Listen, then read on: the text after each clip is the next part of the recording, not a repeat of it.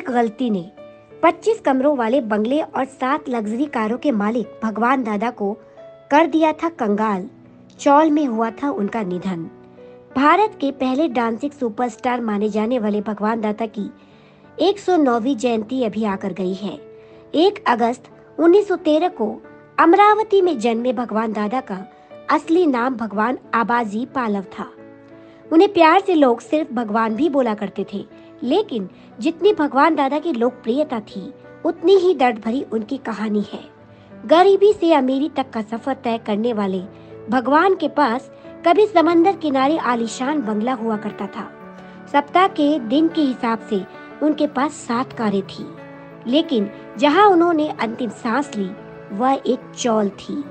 आइए हम आपको ये बताते हैं भगवान दादा गरीब से अमीर और फिर गरीब कैसे बने। भगवान दादा के पिता मुंबई के एक टेक्सटाइल मिल में काम करते थे। उन्होंने खुद भी इसी मिल में मजदूर के रूप में काम किया, लेकिन वे सिनेमा को लेकर जुनूनी थे। उन्होंने साइलेंट फ़िल्मों में छोटी छोटी भूमिका से अपने एक्टिंग की, करियर की शुरुआत की। मूक फ़िल्म क्रिमिनल से पर्दे पर कदम रखने वाले भगवान दादा कॉमेडी के बेताज बादशाह बन गए। भगवान दादा की कड़ी मेहनत रंग लाई लोग उनके काम करने के तरीके से प्रभावित होते थे।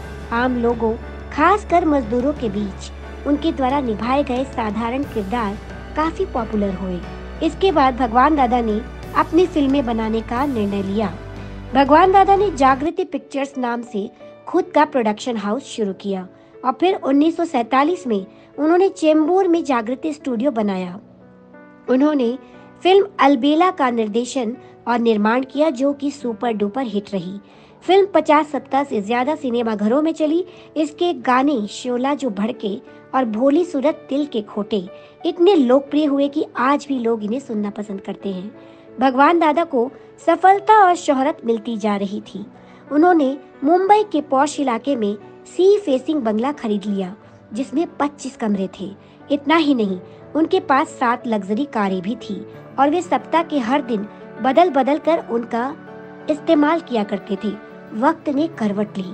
भगवान दादा ने अलबेला के जादू को फिर से बिखेरने के उद्देश्य से लबेला और झमेला नाम की फ़िल्में बनाई, जो कि बुरी तरह फ्लॉप हो गई।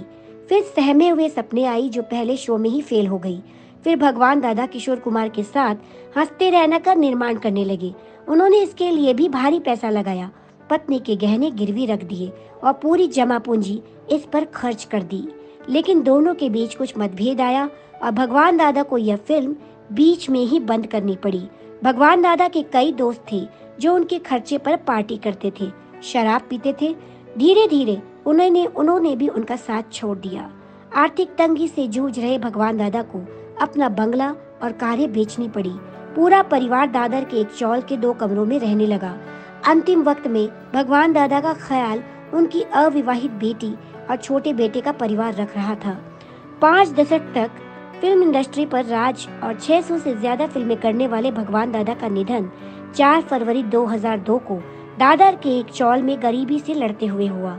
बताया जाता है कि ज़िंदगी के अंतिम कुछ सालों में उन्हें सीनियर आर्टिस्ट, एसोसिएशन और Indian motion pictures producers association की ओर से तीन हज़ार और पाँच हज़ार रूपए का भुगतान किया गया था। हमारे साथ बने रहिए बॉलीवुड की अन्य दिलचस्प खबरें जानने के लिए, तब तक के लिए नमस्कार।